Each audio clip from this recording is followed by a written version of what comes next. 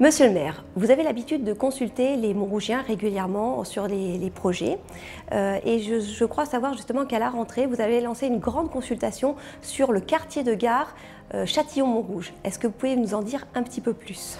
Oui, alors comme vous le savez, on est très attaché à Montrouge, euh, à la démocratie participative, et donc nous consultons les Montrougiennes et les Montrougiens sur tous les projets, les politiques publiques euh, que nous lançons.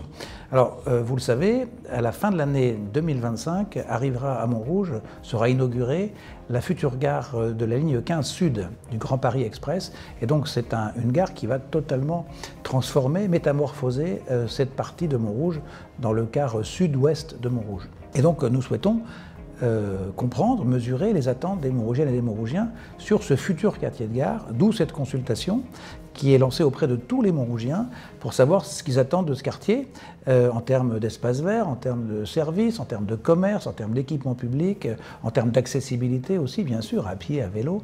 Et donc, euh, grâce au résultat de cette consultation, eh bien, nous pourrons travailler sur des scénarios d'aménagement que nous présenterons ensuite en 2025 euh, à chacune et à chacun. Voilà, donc c'est très important d'y répondre. Il y, a, déjà beaucoup de réponses qui sont arrivées et vous avez jusqu'au 7, 7, euh, octobre pour euh, apporter votre, votre contribution à cette consultation essentielle à notre ville parce que c'est vraiment un projet très très important et ambitieux que nous souhaitons développer.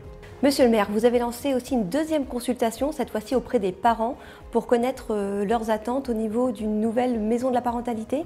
Oui, alors nous avons lancé ce projet de maison de la parentalité à Montrouge pour proposer aux parents euh, un lieu dans lequel ils seront euh, écoutés, euh, ils pourront profiter d'ateliers, de conférences et ils pourront faire part de leurs difficultés à être parents. C'est pas toujours facile d'être parent, que l'on soit parent d'un petits enfants ou bien parent d'ados.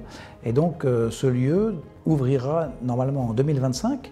les travaux ont commencé et elle sera située rue Ginou, à côté de la, de la PMI. Voilà, donc la consultation est lancée, elle est en cours.